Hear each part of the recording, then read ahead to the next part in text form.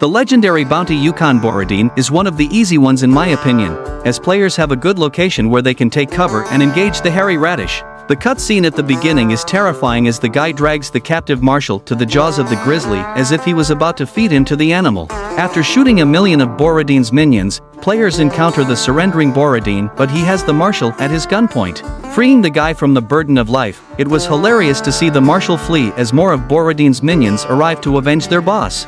I seriously thought the guy would fight, packed the hairy moron and deposited him at Mustache's office.